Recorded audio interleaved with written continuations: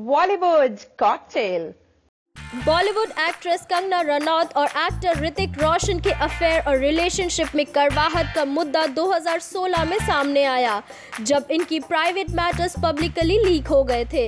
लेकिन साल भर की शांति के बाद इस मुद्दे ने फिर से आग पकड़ ली है। हाल ही में एक इंटरव्यू में कंगना ने रोशन फैमिली पे उन्हें इमोशनल और मेंटल टॉर्चर का इल्ज़ाम लगाते हुए माफ़ी मांगने की बात की थी। इस इंटरव्यू को जहाँ काफ़ी लोगों ने सराहा और उनकी हिम्मत की दाद दी, वहीं कुछ लोगों को ये कंगना की अपकमिंग फ़िल्म सिमरन के लिए किया गया महज एक पब्लिसिटी स्टंट के अलावा कुछ नहीं लग रहा है। बॉलीवुड सिंगर सोना महापात्रा भी काफ़ी बोल्ड स्टेटमेंट्स के लिए जानी जाती है। सोना ने कंगना को अपने एक पोस्ट में लिखते हुए कहा कि मैं हमेशा तुम्हारे सपोर्ट में रही हूँ और तुम्हारे बेबाक अंदाज के लिए तुम्हें काफ़ी पसंद भी करती आई हूँ। लेकिन हाल में चल रहा सर्कस को नहीं।